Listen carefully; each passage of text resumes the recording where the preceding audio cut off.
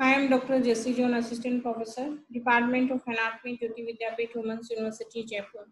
Today we are discussing about the anatomy of the back of the neck. And if you have any doubt after the session, please write down in comment box and it will be resolved very soon. So back of neck is limited above the external occipital protuberance and superior nuchal line and below by spine of C7 vertebra and horizontal lines extending on either side form it to the acromial process of the scapula. तो ये back of the neck है, इसका जो landmark इस तरीके से है and जो सरफेस लैंडमार्क होता है इसको फिर से इसमें दिखाया गया है external occipital protuberance and superior nuchal line and spine of the seventh cervical vertebra and the acromion process Soft tissue on the back of the neck. Soft tissue on the back of neck are divided into four layers.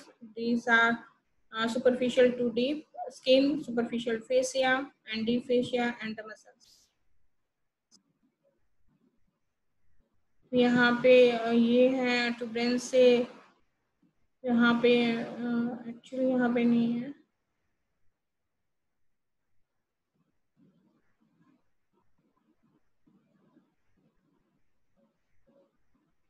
सबसे पहले first हम skin की बात करते हैं तो it is supplied by the middle branch of the total rami of C two C three C four spinal now और जो है greater occipital now third occipital now and cutaneous branch of C four C five तो इस, ये muscles जो skin है हमारे back of the neck की, ये सप्लाइड होती है इनकी ब्रांचेस से। सुपरफिशियल की बात करते हैं फेशिया की तो that is the thick and spite of its fat content It is very tough. It contains subcutaneous nerve and vessels and the cutaneous nerves are greater occipital, third occipital and cutaneous branch of C4 and C5. Cutaneous vessels are occipital artery and minute twigs derived from the second part of the vertebral artery. The occipital artery accompanies the greater occipital nerve. Deep fascia की बात करते हैं deep fascia का nuchal fascia and it is attached in the medial plane to the spine, supraspinous ligament and ligamentum nuchae and externally uh, extending laterally to it has the muscles of the back. अब हम ligament की बात करते हैं it is triangular sheet of the fibroelastic tissue that forms the median fibrous septum between the muscles of two sides of the back of the neck and ये three borders हैं इसके superior border that is attached to external occipital crest an anterior border that is attached to the posterior tubercle of the atlas and the spines of the cervical vertebrae, and the free posterior border that extends from the external occipital protuberance to the spine of the C, uh, seventh cervical vertebrae. ये हमारा ligament nuchae है जो external occipital protuberance से extend होता है spinous process of C seven vertebra जो हमें दिखाई दे रहा है इस तरीके से मसल्स की बात करते हैं, muscle of the back of the neck on इधर side of mid line arrange in superficial to deep group superficial group में ये टू लेयर्स में अरेंज्ड है. फ़र्स्ट में ट्रेपेजियस मसल्स है और एक सेकंड लेयर में अरेंज है. डीप ग्रुप ये ग्रुप फॉर्म करते हैं इंटेंसिक मस्कुलेचर एंड ये फोर लेयर्स में अरेंज होते हैं. सुपरफिशियल टू डीप इस तरह से होते हैं. सबसे बाहर की तरफ़ एक्सटर्नल लेयर्स जिसमें splenius capitis and splenius cervicis cervicis muscles होती हैं।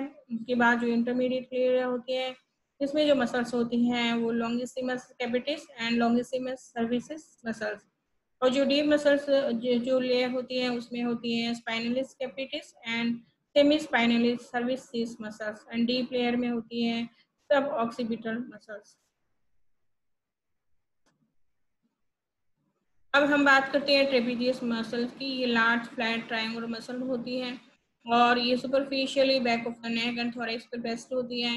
It forms the sloping ridge of the neck trapezius muscles of the two sides together form a trapezium trapezium क्या है? एक ग्रीक वर्ड है जिसका नाम है इरेगुलर फोर साइडेड फिगर तो ग्रीक में फोर साइडेड फिगर को बोलते थे ट्रेपीजियन तो इसलिए इसका नाम दिया गया है ट्रेपिजियस ओरिजिन क्या है इसका medial third of the superior nuchal line, external occipital protuberance and ligamentum nuchae and spine of C7 and all the spines of the thoracic vertebrae.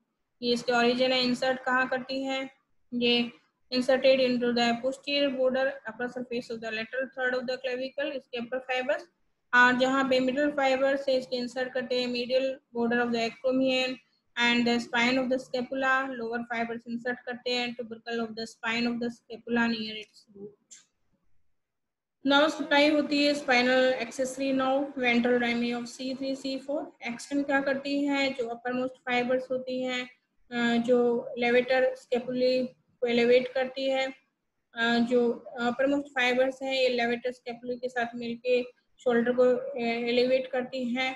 और ये रिस्पॉन्सिबल होती हैं shrugging the shoulder middle and lower part of the muscle act करती है with the rhomboids and retracting and steadying the scapula तो हमारे पास, ये हम आज ही तक करेंगे और नेक्स्ट वीडियो में हम इसको कवर करने की कोशिश करेंगे. So if you have any doubt please mention it in comment box and it will be resolve very soon thank